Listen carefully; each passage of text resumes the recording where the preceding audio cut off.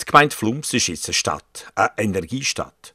Der Energiestadtpräsident, also der Gemeindepräsident, meine ich natürlich, der Christoph Gull, ist stolz drauf. Staatsmännisch hat er viele Besucherinnen und Besucher begrüßt, Einheimische, aber auch solche von auswärts. 46 Jahre nach dem Gold von der Nadig Zappero jetzt eine Auszeichnung für Flums, wo der Regierungsrat Mark Mechler auf olympische Gedanken gebracht hat. Am 9. Februar startet in Südkorea die Olympischen Winterspiele. Das ist, glaube ich, hinlänglich bekannt. Alle vier Jahre treten Athletinnen und Athleten aus der ganzen Welt gegeneinander an. Und was am Schluss zählt, neben dem Mitmachen, da wo wir uns auch selbstverständlich auch immer wieder erinnern können, sind am Schluss Sieg und aber auch Medaillen. Auch Gemeinde Flums hat nach einer intensiven Vorbereitungszeit sozusagen einem harten Training und dann einem erfolgreichen Audit, also dem Wettkampf, mit der heutigen Übergabe vom Energiestadt-Label ein Sieg errungen. Oder eben eine Medaille, wobei die Medaille hier in Form von einem Zertifikat ist.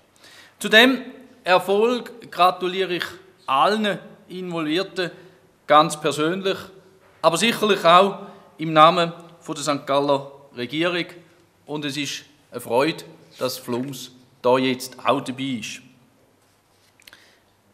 In vier Jahren, also genau im Rhythmus der Olympischen Spiele, wird die Labelkommission dann prüfen, welche Fortschritte Flums gemacht hat. Wie auch Athletinnen und Athleten muss Flums in vier Jahren am Tag X wieder zeigen, dass sie hart an sich gearbeitet hat. Leistung erbracht hat und sich auch weitergebracht hat auf dem Thema. Also Sie sehen, Energiestadt zu werden ist nicht etwas zum Ausruhen, aber es ist etwas, wo man darf in die Zukunft investieren und miteinander das Ziel dann auch erreichen. Und ich bin überzeugt, wie gut, dass Sie jetzt auch abgeschnitten haben, dass Sie das sicherlich auch in vier Jahren mit Ihrem Durchhaltevermögen dann werden erreichen. Und ich wünsche Ihnen bereits auf dem Weg von den nächsten vier Jahren viel Glück. Da liegt der Mark Mechler goldrichtig. Nicht nur sportlich ist Flums auf Goldkurs und immer wieder mal auf Goldkurs. Der Ehrgeiz hat man sicher auch in Sachen Energie. Der Grossaufmarsch und das Interesse der Bevölkerung, die Unterstützung für das Anliegen und den Einsatz der Gemeinde hat es gezeigt. Für Christoph Gull ist die Vorbildfunktion der Gemeinde enorm wichtig. Eine Vorbildrolle, die auch für unsere Bevölkerung sensibilisierend wirken dass man sich eben auch gedanklich und dann auch aktiv mit diesen Themen auseinandersetzt und natürlich auch für unsere Bevölkerung soll unterstützend letztlich sich auswirken, wenn aus der Bevölkerung aus im privaten Bereich eben auch entsprechende Projekte geplant sind und dann angestoßen werden. Dann zweifellos soll, sollen die Aktivitäten und letztlich auch das Energiestadtlabel einen Beitrag auch zum Image von der Gemeinde Flums äh, ja, beitragen ähm, als moderne, als zukunftsgerichtete und vor allem als verantwortungsvolle Gemeinde. Nicht zuletzt darum hat eben der Gemeinderat von Anfang an nicht gesagt, das Ziel ist, dass wir das Label möglichst schnell haben, sondern das Label, das sollte eigentlich, ich sage jetzt so ein, ein Nebenprodukt sein von den Hauptaktivitäten. Im Zentrum soll es darum gehen, dass man sich seriös und ernsthaft auseinandersetzt mit den Themen Ökologie und Energieeffizienz. Dass man Diskussionen und auch Auseinandersetzungen führt und sich mit der Frage beschäftigt, was ist der Beitrag, die Gemeinde Flums konkret da kann leisten Das ist im Gemeinderat das Anliegen und das ist im Vordergrund gestanden und eigentlich nicht möglichst schnell das Label äh, zu erreichen. Obwohl wir natürlich uns sehr darüber freuen, dass es jetzt so weit ist. Was sind die wichtigsten Meilensteine jetzt auf dem Weg bis zum Energiestadt-Label? Es hat sicher angefangen, und ich meine, das ist der erste Meilenstein gewesen, dass der Gemeinderat sich mit diesen Themen auseinandergesetzt hat und letztlich den Be Beschluss gefasst hat, jawohl, wir treten am Verein Energiestadt bei und wir wollen das Label erlangen. Dann ist es darum gegangen, dass man auch intern in unserer Verwaltung personelle Voraussetzungen schafft, die nachher auch ähm, ein erfolgreiches Projekt äh, gewährleisten können. Und das haben wir gemacht mit der Schaffung von einer neuen Stelle, Immobilienbewirtschaftung. Wir haben vor rund zwei Jahren den Rolf Gadient eingestellt für die Besetzung von dieser Stelle. Und wir haben an dieser Stelle auch die Projektleitung, die interne Projektleitung äh, von dem Energiestadtprojekt angesiedelt. Dann sind wir begleitet und beraten worden von, von, von einer externen Firma. Das ist Amstein und Waltert von Zürich. Und in Person hat uns der Matthias Schlegel sehr umsichtig und kompetent durch den Prozess durchgeführt.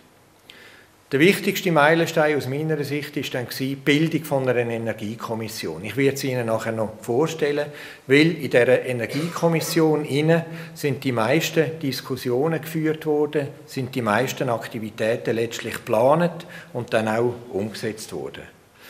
Und als weiteren wichtigen Meilenstein erachte ich die Erarbeitung und dann auch die Verabschiedung von einem Energiekonzept, wo eigentlich so ein bisschen den Rahmen bildet haben und weiterhin werden bilden, der Rahmen für die Aktivitäten und Maßnahmen, die wir in der Energiekommission bearbeitet.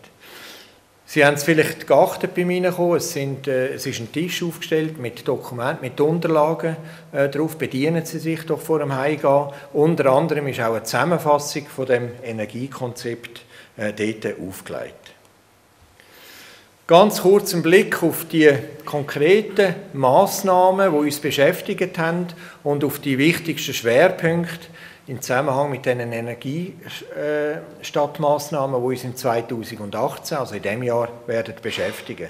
Sie werden sehen, es ist eine ganze Palette, ein ganzer Strauß von verschiedenen Themen und Maßnahmen, wo wir uns auseinandersetzen damit. Beispielsweise der Masterplan Mobilitäts- und Verkehrsplanung also da geht es darum, ähm, ja, wie wir Mobilität von unserer Bevölkerung planen und letztlich auch unterstützen mit äh, hoffentlich dann ja, ein paar auch moderne, innovative Ideen, die da umgesetzt werden.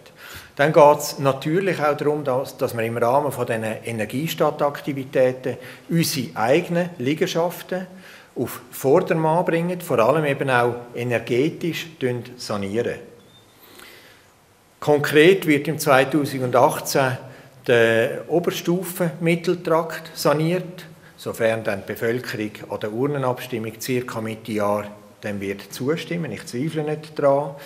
Bei dem Mitteltrakt, äh, Mitteltrakt, was das Vorprojekt und das Bauprojekt jetzt im 17. bereits durchgeführt worden sind, sind eben die Kriterien äh, von dem Gebäudestandard, wo der Gemeinderat ebenfalls verabschiedet hat im Rahmen von Energiestadt ähm, sind dort eingeflossen. Man ist auch dran, in der Energiekommission ein Förderprogramm zu konzipieren, ein Förderprogramm für Maßnahmen zur Energieeffizienz und vor allem zu, ähm, zur Förderung von erneuerbaren Energien. Dort wollen wir ja einen Schwerpunkt legen bei lokal produzierter erneuerbarer Energie. Warum? Es sollte möglich sein, indem man da fördert, dass eben die lokale Wertschöpfung kann verstärkt werden auf der, einen, auf der einen Seite und auf der anderen Seite eben auch die Abhängigkeit vom Ausland kann reduziert werden. Sie hören wahrscheinlich die Zielsetzungen nicht zum ersten Mal. Das Energiestadtprojekt und die entsprechenden Ziele, die Gemeinde Flums in diesem Zusammenhang formuliert hat, haben, die stehen ja oder die sind unmittelbar abgestimmt mit den kantonalen äh, Maßnahmen und Aktivitäten und natürlich auch mit der nationalen Energiestrategie, wo ja letztes Jahr von der Bevölkerung beschlossen worden ist. Dann geht es noch weiter. Es geht um einen Masterplan Fernwärme. Wir haben bereits realisierte, interessante Fernwärmeprojekte in der Gemeinde Flums. Da geht es darum zu schauen, was gibt es für Weiterentwicklungspotenzial. Wir müssen aber auch Schulungsaktivitäten durchführen bei unseren eigenen Mitarbeitenden. Konkret ist jetzt eine Schulung auch äh, geplant, die wird stattfinden für die Schulhauswart. Ähm, es wird ähm, weitere Informationsveranstaltungen geben für unsere Bevölkerung. Auch dort ist das eine oder andere schon angedenkt. Ein, ja, ein bisschen auch eine innovative Idee, wo wir uns im Moment in der Energiekommission damit beschäftigen, ist die Realisierung, Planung und die Realisierung von einem sogenannten Energieweg. Ein Energieweg, wo wir eigentlich darstellen dass die Geschichte der Gemeinde Flums mit den Themen Energie sehr stark verknüpft ist. Ich glaube, das ist auch bei diesen Führungen, vor allem bei, bei der Besichtigung von der Turbinen, ähm, deutlich zum Ausdruck gekommen. Unter anderem sind ja auch die Gebrüder Spöri vor rund 150 Jahren mal nach Flums gekommen, weil, weil wir da können die Wasserkraft nutzen und in dem Zusammenhang ist ja dann die Baumwollspinnerei Spöri da an dem Ort, wo wir jetzt sind, aufgebaut worden. Kein leere Wort. Da steckt Engagement dahinter und das hat man anschaulich gerade auch an zwei Standorten gezeigt und das von der Labelverleihung. Der Rolf Gadient, der Immobilienwirtschafter, hat die grosse Schar von Interessierten in zwei Gruppen eingeteilt. In der Tat ein eindrückliches Beispiel vom Zusammenwirken von umweltfreundlicher Energiegewinnung und der gewerblichen Nutzung. Ein anschauliches Beispiel von der Entwicklung im Energiebereich in den letzten Jahren. Zuerst sind wir in zentralen Felsen gegangen. Ich begrüße euch auch recht herzlich im Namen von Rewe Schilz. AG. Wir befinden uns hier in der zentralen Felsen. Mein Name ist Markus Bleisch. Ich bin der Touchmeister, so schön gesagt, für die Anlage, für Betrieb und Unterhalt von dem Kraftwerkspark zuständig. Die zentrale Fels ist eine von fünf Zentralen, die wir betreiben. Ich möchte euch kurz äh, einen geschichtlichen Ablauf von der ganzen EW Schilz oder Spöri präsentieren. Das Kraftwerk Spöri sind 1980 haben sie in Bruckwitti oben den, den Wald gerodet und den Weiher gebaut, für damals noch äh, Transmission antreiben für die Spinnmaschine, damit auch der, der Abfluss konstanter ist. Weil sonst war der Bach, gewesen, der hat einfach individuell Wasser gebraucht und mit dem Weiher hast du sich besser dosieren über den Tag durch. Die Gewerbesitzer vom Dorfbach, ja auch noch da sind, die dann schon Angst um das Wasser, dass Schilzen weniger Wasser hat, weil sie ja hier unter der Brücke eine Wasserfassung betrieben und man hat dann 1899 eine Einigung gefunden miteinander, dass die Spöri damals zugesichert hat, dass sie auch weiterhin das Wasser nimmt, einfach zuerst die Brüsi-Anlage und dann in Dorfbach hinein. Damit die Gemeinde auch dazu gestimmt hat, mussten sie zwei Strassenprojekte übernehmen.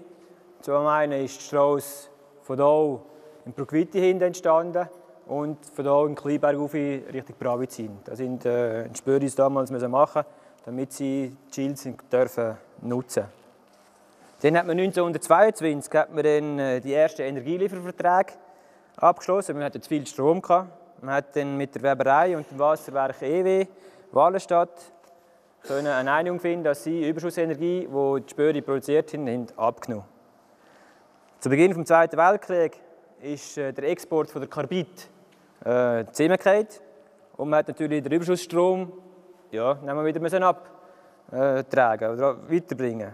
Und da hat man dann mit der EWZ, EW Zürich, eine Einigung finden und 1940 hat man dann Bravizin mit der Albola-Leitung, der Hochspannungsleitung, die jetzt noch oben ist, äh, hat man dann verbunden und hat dort einspeisen Wie vorhin gesagt habe, haben wir jetzt das Bild von der Fassung Öli, der ist 1902, äh, 1942 in Betrieb genommen und eigentlich die vierte Zentrale. Gewesen. Da sehen wir eine Seiteneinlaufwehr, wo Chills das Hauptwasser geht geradeaus und dann hat man im Bachhaus so eine Konstruktion gemacht, also eine Rigole gemacht, damit das Wasser, jetzt in dem Fall 400 Liter, in das Wehr hineingegangen ist und nachher auf die Druckleitung raus in den zentralen Provizin neu. Hier sehen wir die Druckleitung, die sie damals gebaut haben. Jetzt sehen wir, sie noch, geht sie noch weiter. Dort Eckacher ganz oben links ist in Bruckwitte hintergegangen. Und unten dran, unter der äh, Böschung, hat man dann die Leitung gefasst und mit dem Öl verbunden. Man hat zudem für das müssen durch einen äh, noch einen Stollen bauen, etwa 300 Meter lang, und hat dann die Leitung so hinten auf die Wasserfassung, die wir vorne gesehen haben. Und dann geht sie hier oberirdisch durch Schilzdobel führen.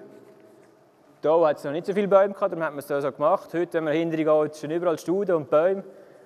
1987 war ein, ein schwarzes Jahr für die Spöri, weil dann hat es in Pravizin einen Generatorenbrand gegeben, sind drei Generatoren kaputt gegangen. Und das war eigentlich die Initialzündung für eine komplette Sanierung von allen Anlagen.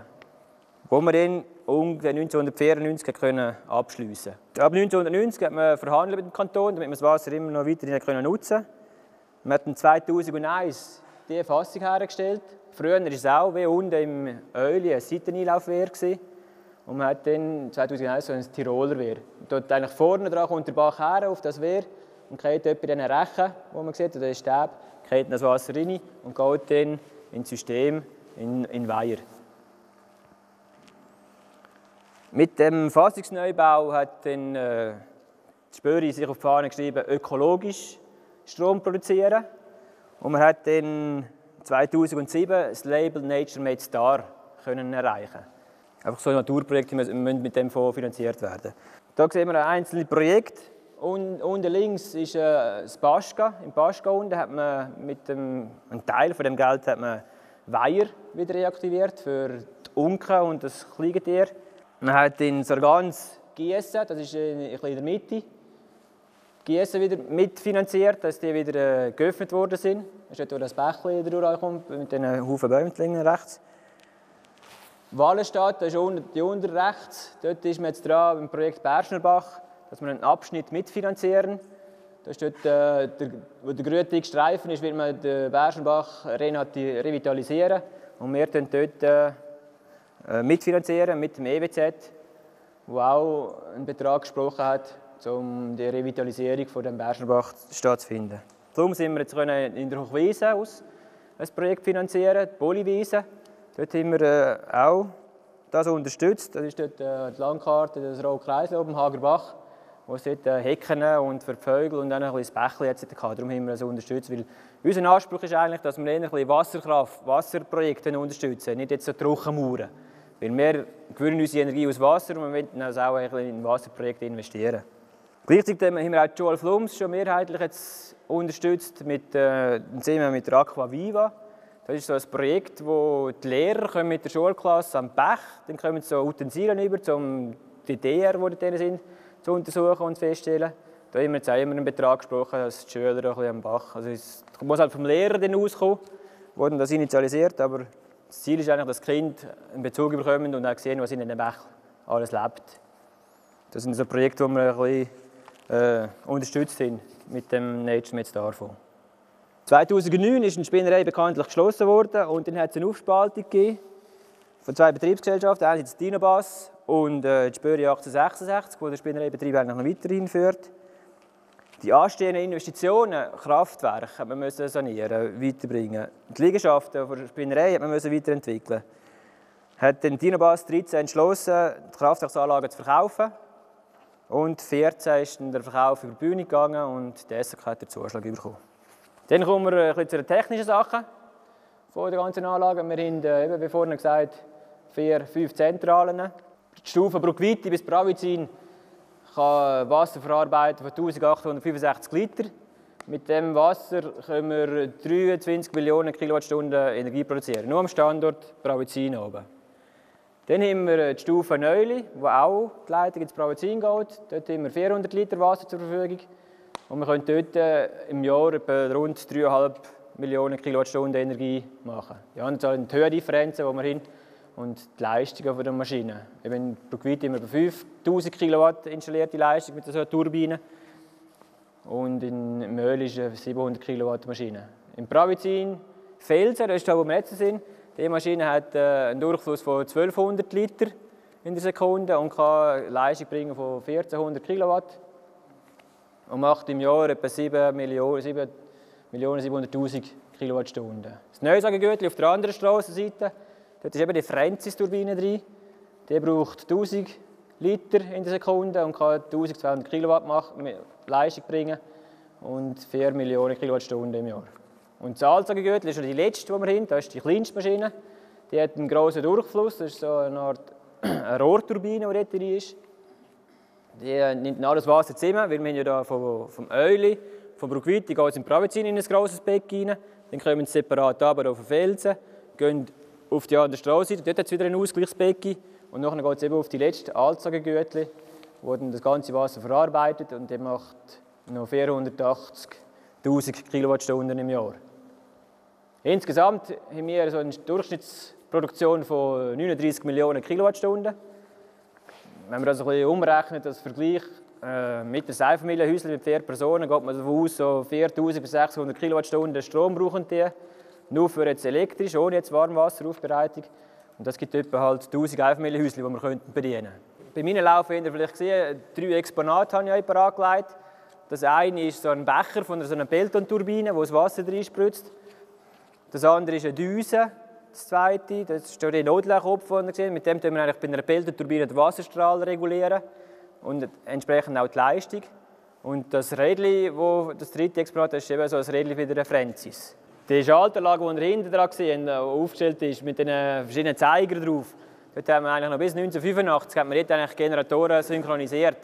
Heute macht das eine moderne SPS, wo die Drehzahl misst, die Frequenz misst vom Netz und dann tut das ansynchronisieren und ins Netz zuschalten. Und früher hat man das mit so hell-dunkel schalten, also wenn das Licht flackert, wenn es nicht mehr flackert oder es dunkel ist, dann hast du den Schalter reindrücken und das hat man an dieser Wand hinten gemacht.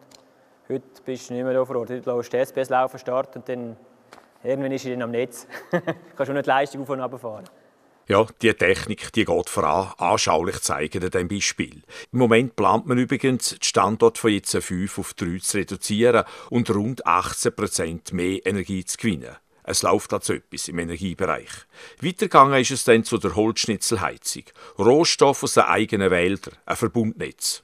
Wer anders als der Revierförster hätte das anschaulicher können überbringen Das ist der Schnitzel, der uns der Schneck beschicken tut und schlussendlich nachher der Ofen fordern tut.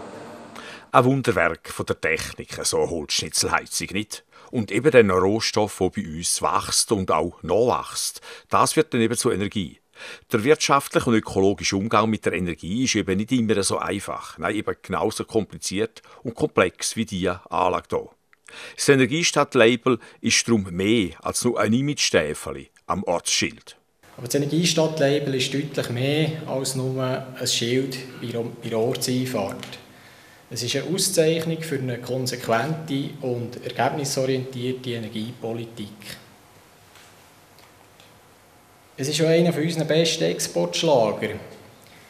Die Energiestadt war dabei oder ist stark beteiligt in der Gründung des European Energy Award. Der EEA ist ähm, Zertifizierungslabel, das eigentlich Nachhaltigkeit in der Energiepolitik und Umweltpolitik der Kommunen zertifiziert. Es ist in Europa relativ weit verbreitet. Inzwischen gibt es schon über 1400 Kommunen, die unter das Label fallen. Es ist in den verschiedenen Ländern unter unterschiedlichen Namen in die nationale und regionale Energiepolitik integriert. Äh, so ist es beispielsweise unter dem Namen E5 in Österreich und Vorarlberg bekannt oder unter dem Namen Site Energie in Frankreich. Und für uns ist jetzt eben Energiestadt. Ist europäisch, ist China in dieser Familie, wo sich eben weltweit klar dazu bekennt, mit Energie optimal wirtschaftlich wie ökologisch umzugehen.